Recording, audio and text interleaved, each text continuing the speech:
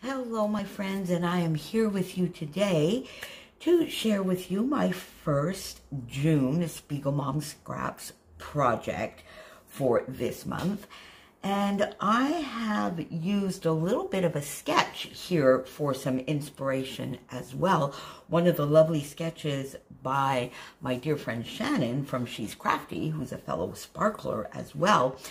And I used one of the sketches that she used in um, the Lucky Seven Stash Bash class. So I'm not going to show you the sketch in case you're not in the class, but if you are in the class, you will see a little bit of the inspiration. In the end, it went a different way because my original idea with this was to line some of these hexagons, these smaller hexagons, with some sequins uh, to have sort of a little bit of a Broadway billboard effect and then have some of those popping down from the photo and up from the photo. But, it, but when I sort of started putting the sequins and organizing them to cover up the hexagons and give a sequin hexagon shape, I, I didn't like the way it came out. I think these hexagons are a little too small.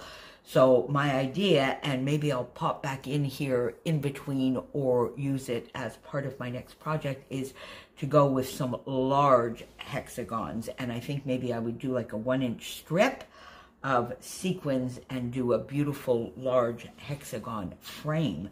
What do you think of that? Let me know down below. Now, I definitely already have the idea of this one lovely line of, of sequins to frame everything. And again, as I said, to give a little bit of the idea of a bit of a Broadway sort of billboard or announcement board. Um, so I did do that. Now I've used, again, because of course, um, my, my goodie bag and now bags are still on their way and kicking up their heels somewhere. I, I swear, poor Jody, what a nightmare. She's been working so hard with, you know, trying to track things down. Everything just seems to be, for the mo moment, enjoying the Windy City. Uh, I guess whenever it decides to stop whooping it up, and perhaps when more of our things are open up here, it'll decide to come and party up here with me. It'll get here. And when it does, it'll be just that much more amazing. But what I used on here, I mainly used toes in the sand because I wanted to pick up this sort of lovely blue and a little bit of a, a teal color in here.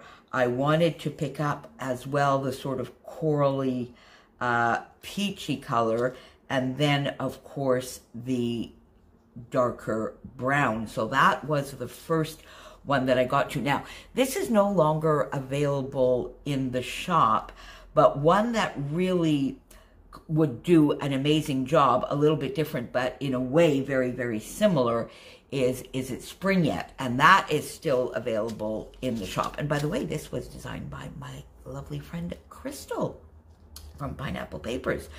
So, is it spring yet? You can definitely get that over in the shop. Don't forget to use my code Moira15 to get 15% off. And if you use the affiliate link that I have down below, that will give me a little bit of a commission without costing you any more. So I use toes in the sand, but is it spring yet? Would definitely do, and it is over in the shop. And I popped in a little tiny bit of Autumn Joy, more in this sort of coppery color, because the actual um, peach in this color was just a little, little transparent. So I wanted to get a little bit of a deeper color. And then I went into Belle's Ball for the flat golden sequins and got those on the page. And for these, again, different, but that would be lovely with some gorgeous, gorgeous yellows and a little bit of teal, is simply the zest. And I can't wait. That one's on its way, way to me for sure. And I can't wait to get it because it will match the simple stories lemon twist beautifully. So when I decided that I didn't like the whole hexagon thing, I left the hexagons there because one, they were down, and they add, and I like the pops of color that then allowed me to use all the different colors in these gorgeous sequins here.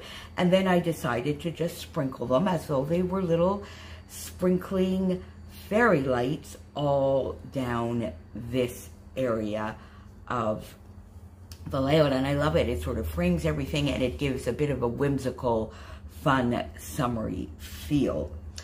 Uh, I just used the same two pattern papers that I framed my photos in, did a little bit of tearing on the bottom of this one. I have this scrap from uh, the Heidi Swapp Old School on my desk. I tore it to give an extra little bit of a layer.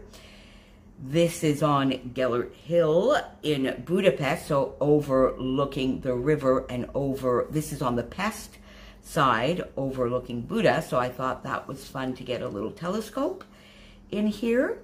So I popped that up. Uh, the bottom part here is on foam. And the rest I was just using bits from my scrap bowl. Um, if you remember, I fussy cut tons and tons of these, a whole sheet from the Paige Evans Wonders collection. These lovely tags that my dear friend Helen uh, from the UK had sent to me. And I still had the Bare Basics in the darker wood. I've used up, she sent me two, one which was uh, a, a, much paler color, and I only have, I think, maybe two or three of those left, but I still had quite a few of the darker ones, so I got that into my little areas, and I put two of these wooden dots with one sequin in each of those little clusters just to finish up my frame. And did I mention that the back here was sassafras? I think I did. I think I mentioned that the back here was sassafras. So I love this layout. It will have a companion page. So maybe that's what I should do. Maybe I should make the companion page with two other monuments, the Liberty statue and another one from that same visit. And maybe that's where I should do that large hexagon. Tell me down below what you think. And once again, as I said, I use some older, beautiful sequin mixes that I have in my stash. I have a large stash, so even if this stuff is taking a little while to get to me, no, no worries. But if you want something similar, is it spring yet? Simply the Zest. They are both in the shop. Use my code, Moira15. And if you would be so kind to click the affiliate link down below to do that, to bring a little bit of a commission to me that helps me continue my own um, channel and doesn't cost you anything more. And I will be back later in the month with another lovely Spiegel Mom Scraps project. And of course, in the meantime, please don't forget to come back here often, often throughout the month because many of my fellow lovely, talented sparkler friends are here bringing you the most amazing projects as well. I will see you back here very soon.